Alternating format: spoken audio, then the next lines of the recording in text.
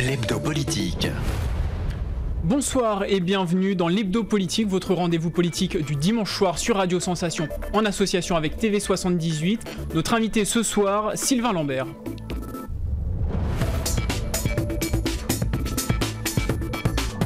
L'hebdo politique. Sylvain Lambert, bonsoir. Bonsoir. Alors vous êtes maire de Rochefort en Yvelines, vice-président délégué aux finances et au budget de Rambouillet Territoire, mais aussi et depuis peu président de l'association des maires ruraux des Yvelines, une association qui se présente comme un regroupement des maires militants de la ruralité qui fédère, informe et représente les maires de communes de moins de 3500 habitants. Être maire aujourd'hui, ce n'est pas tous les jours facile, ce sont de nombreuses responsabilités au quotidien. Qu'est-ce qui vous motive à exercer cette fonction qui apporte son lot de surprises et de responsabilités? L'envie de participer à la vie commune, de mettre le collectif avant l'individuel et de permettre comme ça, je dirais, à nos administrés de vivre une vie agréable dans nos petites communes rurales. Mon ambition, c'est la ruralité. C'est pas d'être maire d'une grande commune, c'était vraiment d'être maire d'une petite commune à taille humaine où tout le monde se connaît, tout le monde se croise dans la rue, se dit bonjour et euh, pour vivre ensemble en fait. Justement, est-ce que vous pouvez nous raconter votre histoire avec euh, Rochefort en Yvelines? Oh, c'est une vieille histoire. En fait, j'ai découvert Rochefort en Yvelines au siècle dernier euh, parce que je faisais du karting et que je passais par là pour aller euh, sur mes circuits préférés. Donc c'est comme ça que j'ai découvert ce territoire.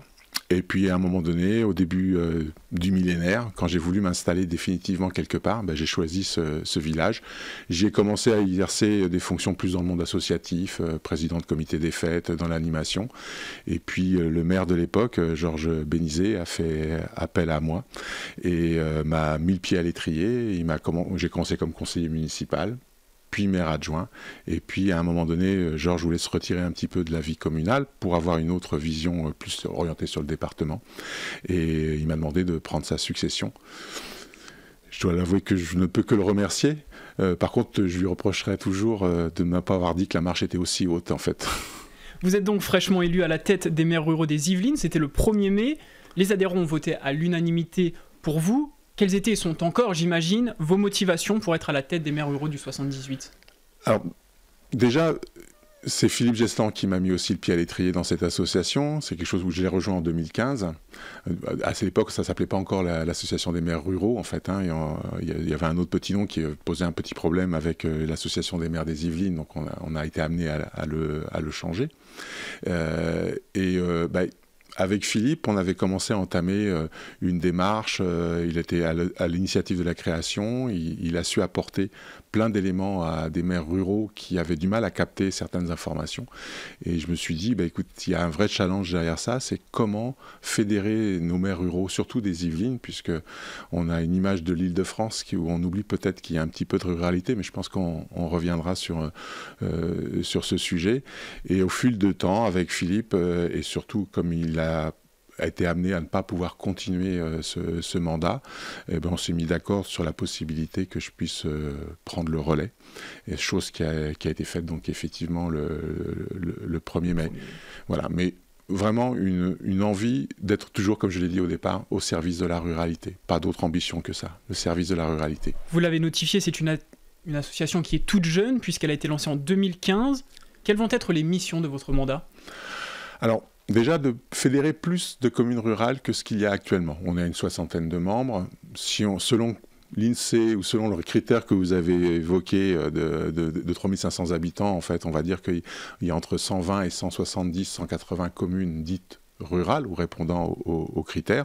Aujourd'hui, on est 60, donc déjà renforcer euh, le nombre, le nombre d'adhérents. Après, on pense qu'il y a une vraie synergie à créer avec les autres départements ruraux euh, de l'Île-de-France que sont l'Essonne et la Seine-et-Marne. Alors pourquoi je parle de cela en priorité? C'est parce qu'il y a déjà des associations de maires ruraux dans l'Essonne et dans la, Seine-et-Marne, et on est déjà pr- proche, on a commencé déjà à échanger, et donc il y a une volonté aussi de peser au niveau régional, mais pas au niveau régional auprès des partenaires, pour leur montrer que euh, la ruralité a un sens sur l'ensemble de l'île de France. Il reste une particularité qui est le Val d'Oise, qui est aussi un département rural, mais qui aujourd'hui n'a pas d'association de maires ruraux. Donc euh, on y travaillera peut-être pour les aider à se mettre en association aussi. Et quel est le type de ruralité dans les Yvelines? J'imagine que ce n'est pas la même que celle en Corrèze, par exemple. Quelles sont les problématiques sur le territoire? Les Yvelines, déjà une particularité, c'est que c'est la moyenne de la ruralité de l'Île-de-France. Si on en croit l'INSEE, l'INSEE dit qu'il y a 53% de communes rurales en Île-de-France. Eh bien, il y a 53% de communes rurales en Yvelines.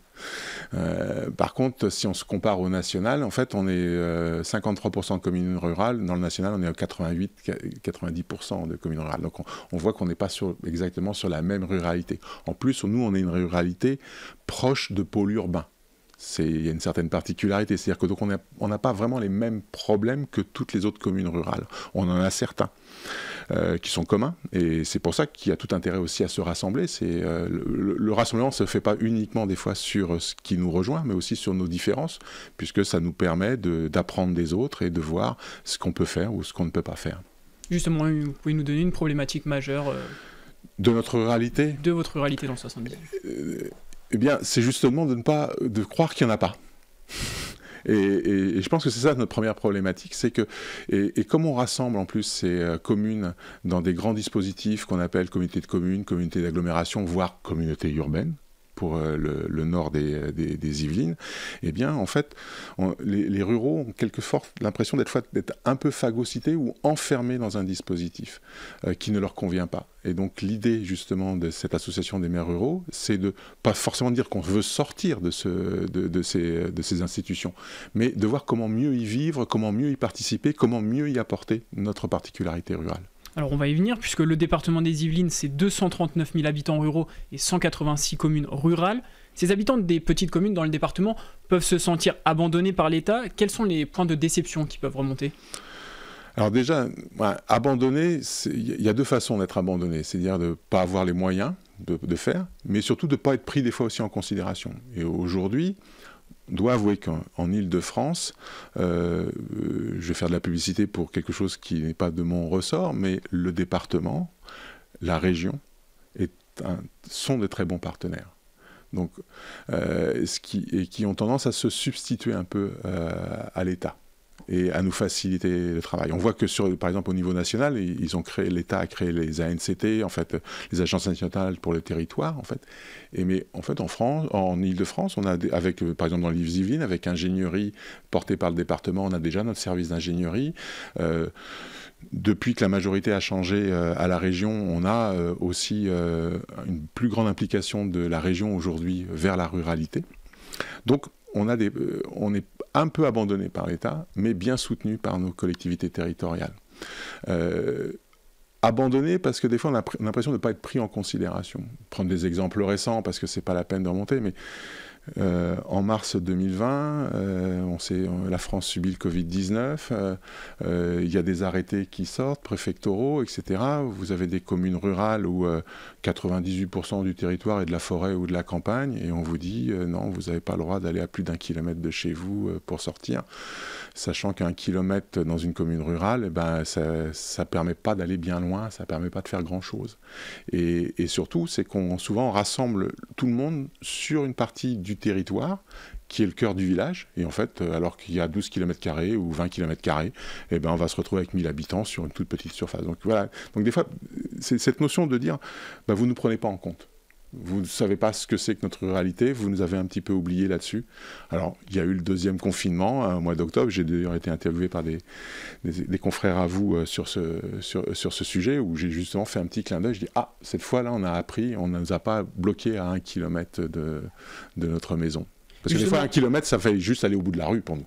Bien sûr, et justement par rapport à ce mécontentement que vous évoquez, il y a un an, les maires ruraux exprimaient leur mécontentement contre la gestion de l'État, s'estimant être abandonnés pendant la crise sanitaire. Vous faisiez partie de la trentaine de signataires. Mhm. Un courrier avait été adressé à Aurore Berger, députée de la circonscription à l'époque. Qu'en est-il aujourd'hui?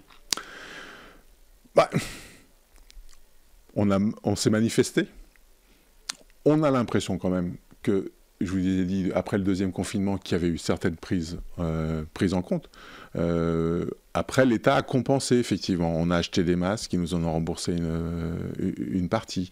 Euh, on a fait un certain nombre de démarches et ils, nous accompagnaient. Il y a le, on va en parler après, mais il y a le, gag des élections. Le gag, excusez-moi Il ne faudra pas dire que les élections sont un gag, mais l'organisation de ces élections est, quand même quelque chose où nous, on nous fait tourner chèvre, quoi, en fait. Hein. Euh, moi, j'ai commencé à racheter des urnes, j'ai commencé à racheter des isoloirs pour s'entendre dire que peut-être qu'il n'y aura pas besoin de doubler les isoloirs, etc. Donc, en fait, on, on nous mène un petit peu euh, en bateau, on a du mal des fois à savoir ce qu'on doit réellement faire et comment on doit le faire. C'est aussi un des sujets qu'on a au niveau de la ruralité, mais des fois de dire mais laissez-nous faire, faites-nous confiance. Euh, c'est pas dans nos territoires, si on reprend la problématique purement Covid-19, qu'on a eu beaucoup de soucis sur nos territoires. On a su gérer et faire comprendre à notre population, parce qu'il y a la proximité, des bons gestes barrières à appliquer, des précautions à prendre. Et justement, avec cette crise sanitaire, jugez-vous que le gouvernement n'a pas été suffisamment à l'écoute des hommes de terrain? Je pense aux maires de proximité, ceux qui sont au contact de la population et surtout ceux qui connaissent la problématique de leur territoire. Ils y sont venus petit à petit, il faut être honnête. C'est-à-dire que je pense que le, ça a été compliqué au départ. Ils n'ont pas compris qu'ils pouvaient s'appuyer sur nous, comme beaucoup de choses. Euh, si on revient un an, même avant, avec les Gilets jaunes, euh, on les avait prévenus depuis un certain temps que la colère montait, qu'il y avait de l'incompréhension, etc. Et euh, le début de la crise du Covid-19, on s'est tous trouvés désarmés et il y a eu un problème de confiance qui s'est pas établi dans un premier temps. Après, je dirais, bah, le deuxième confinement est arrivé. Il y a eu d'autres erreurs des faites, mais les premières n'ont pas été recommencées. Donc déjà, donc ça prouve qu'on apprend un peu en marchant. Et je pense que l'État devrait avoir cette simplicité de comprendre qu'on peut apprendre en marchant et qu'il est normal des fois de faire un petit faux pas. Le faux pas est donc possible, mais c'est pourtant l'un des engagements de l'association. Je cite votre charte porter les positions des élus ruraux dans les instances locales et nationales. Avez-vous le sentiment d'être mis de côté par ces instances nationales? Alors, moi, avant de parler d'instances nationales, j'aimerais parler des instances euh, départementales, régionales, etc. Parce que l'État est représenté par le préfet déjà. Euh, donc, aujourd'hui, il y a encore ce petit problème dans nos départements qui sont plus vus comme des départements urbains et pas ruraux, à prendre en considération la, la parole rurale. Donc ça, il faut qu'on y travaille. Mais j'accuse personne, hein, c'est vraiment il faut qu'on y travaille. Euh, il y a l'agenda rural qui a été créé pour ça. Euh, il faut qu'on arrive à le décliner dans les Yvelines. C'est pas parce qu'il euh, il y a une cette vision qu'il y a plus d'urbains que de ruraux dans les Yvelines qu'on ne doit pas pouvoir arriver à décliner une partie de l'agenda rural. L'agenda rural, c'est 181 mesures. Les 181 mesures n'ont pas forcément de sens dans, les Yvelines. Mais je pense qu'il faut qu'on fasse un travail avec les services de l'État, de voir parmi ces 181 mesures lesquelles on doit prioriser sur le département des Yvelines. Et, quand je discute avec euh, mes confrères euh, euh, de, la Seine-et-Marne et des de l'Essonne, on est sur la même ligne de conduite. Et on sait qu'on n'aura pas forcément, parmi les mesures, les mêmes. Mais voilà, donc je, tenir compte de la spécificité des territoires. Il n'y a pas un territoire rural qui ressent un autre territoire rural. On n'est pas tous égaux, on n'a pas tous les mêmes problèmes. Par contre, l'agenda rural a cet avantage, avec ses 180 mesures, d'avoir des cartes qu'on peut jouer ou pas jouer en fonction du contexte. Vous nous parlez justement de la population rurale et la population urbaine. En période de, de crise sanitaire nationale, même mondiale, est-ce normal que les mesures à Adinville ou Cernay-la-Ville soient les mêmes qu'à Versailles, par exemple? Ah ouais, ça, prêcher un convaincu. Euh, on, se bat pour ça. Après, on va pas faire des arrêtés pour contrer l'arrêté euh, de la préfecture. Ça n'a pas de sens. Mais après, on essaye, nous, en proximité, euh, d'expliquer aux gens, bah oui, là, c'est la bonne pratique, c'est celle-là, tu la respectes, ça se fait correctement, etc. Mais bien sûr qu'on ne peut pas appliquer les mêmes règles en centre, sur le marché de Versailles que sur le petit marché dominical ou hebdomadaire d'une petite commune. Je ne veux pas dire qu'il ne faut pas porter le masque, mais on n'a pas la même densité de population. On n'est pas confronté et on est beaucoup plus à l'extérieur qu'à l'intérieur. On n'a pas de grand parking couvert, nos, stationnements sont à l'extérieur. Euh, adapter les mesures au territoire, c'est vrai pour la crise sanitaire, mais c'est vrai pour tout le reste. Donc vous pensez qu'il faudrait faire plus confiance euh, au monde rural, notamment sur le port du masque en extérieur, par exemple? Oui, tout à fait. Moi, je serais prêt à prendre un arrêté, parce que dans les Yvelines, on doit porter le masque partout à l'extérieur, sauf quand on est en forêt. Alors vous me direz, si je prends le cas de ma petite commune, Rochefort en Yvelines, 98% euh, du territoire est de l'espace bois classé, donc dans 98% du territoire, j'ai pas obligé de porter le masque. Mais dans les rues de la commune, je croise euh, une personne tous les 200 mètres, je peux changer de trottoir, le risque n'existe pas. Par contre, quand j'arrive près du commerce local, de l'école, là, il n'y a pas de problème. Et de toute façon, les gens jouent le jeu en plus. Jouent le jeu. Et concernant cette épidémie, quelles sont les problématiques sur le territoire? Les centres de vaccination sont-ils accessibles pour tous?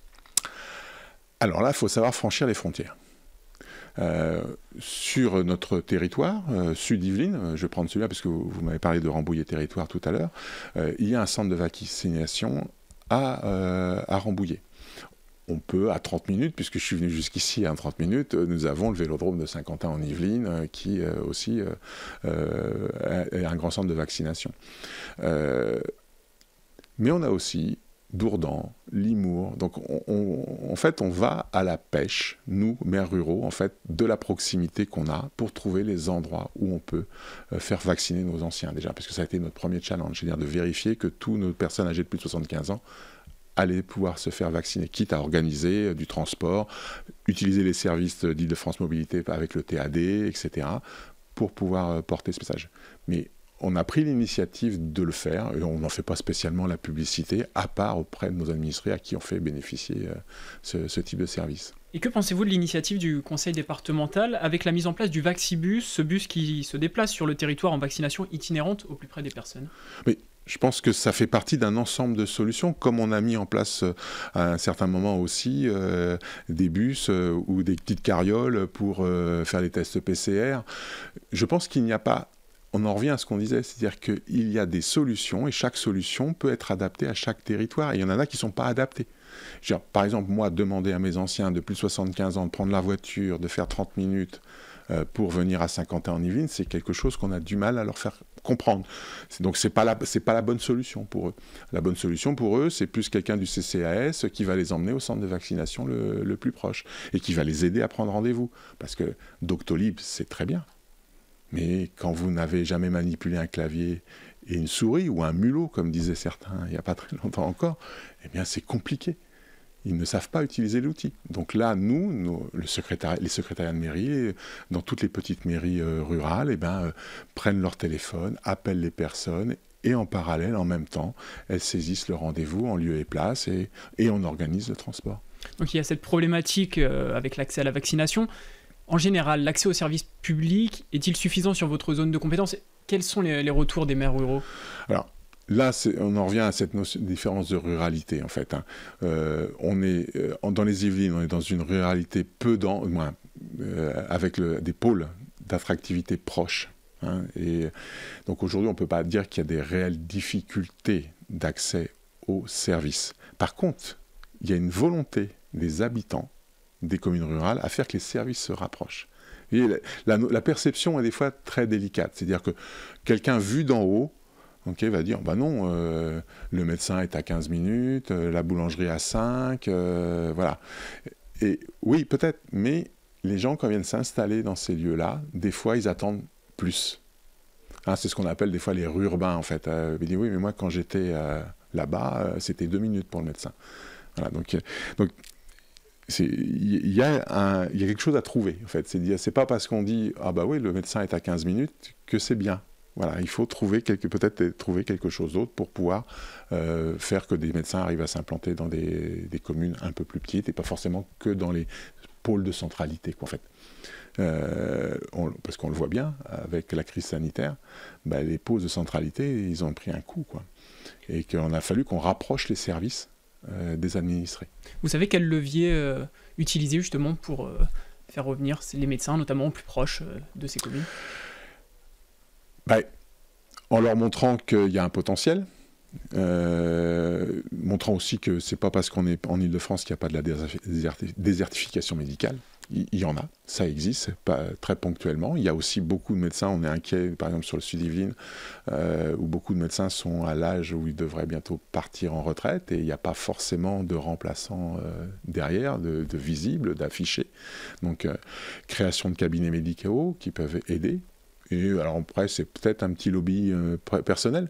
Je pense qu'il y a aussi un devenir pour la télémédecine mais à partir du moment que nous, communes, on vient, mettre en place ces fameuses cabines de télémédecine qui se permettent de se mettre en relation avec un médecin. Alors, ça ne résout pas tous les problèmes, mais ça apporte des solutions à certaines tranches de population. Un mot. Et ça libère forcément.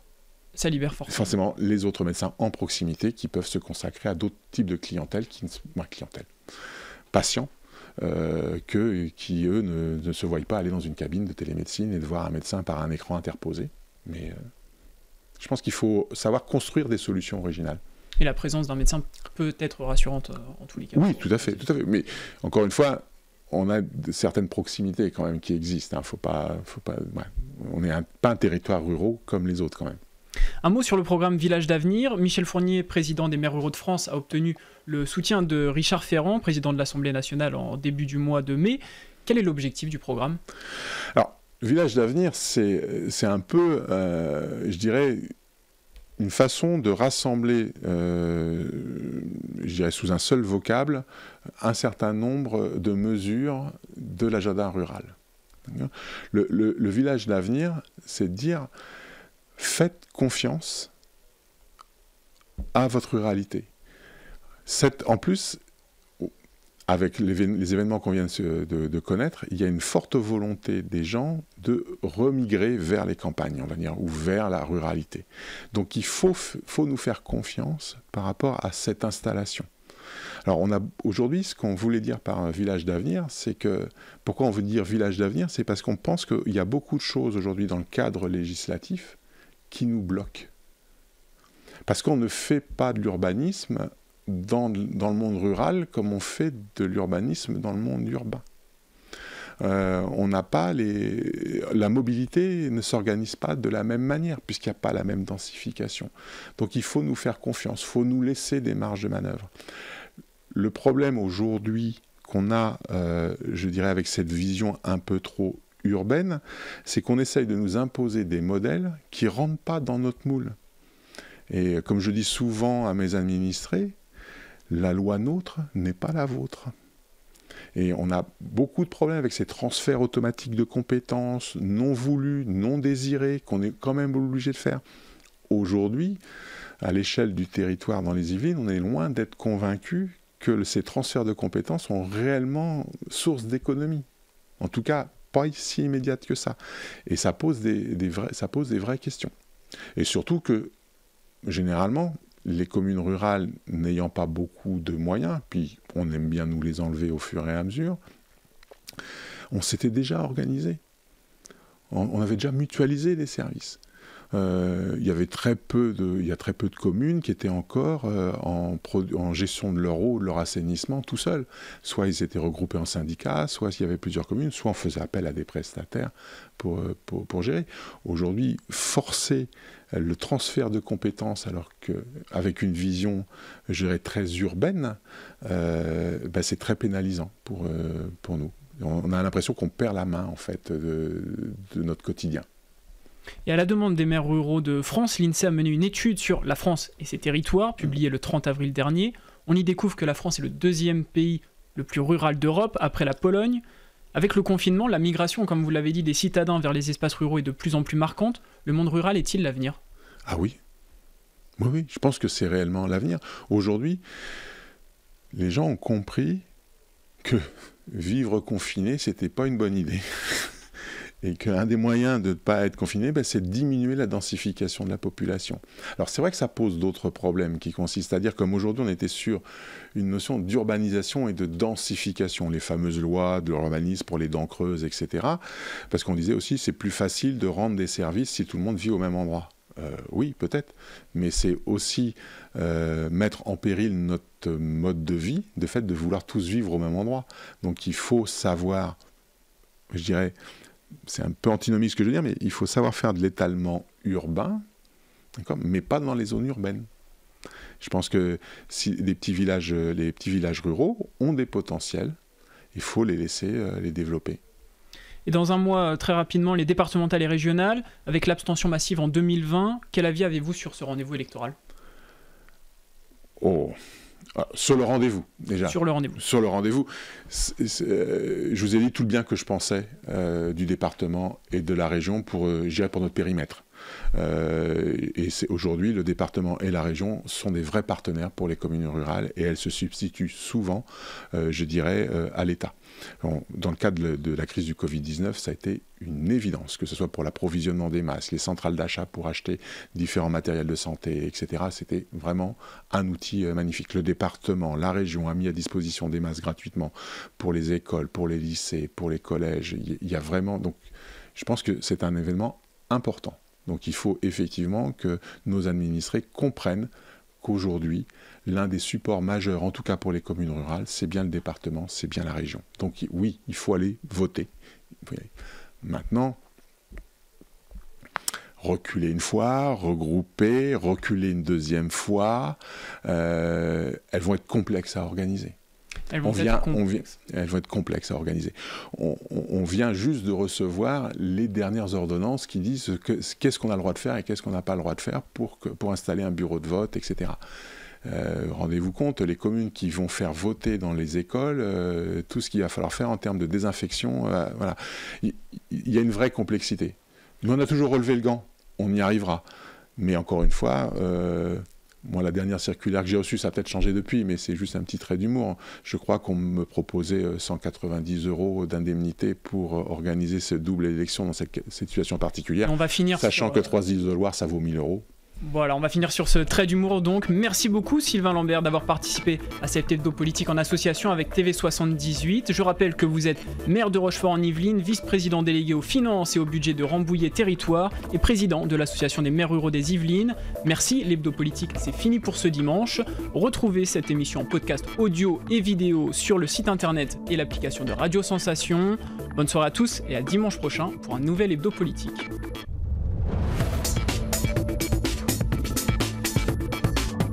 L'hebdo politique.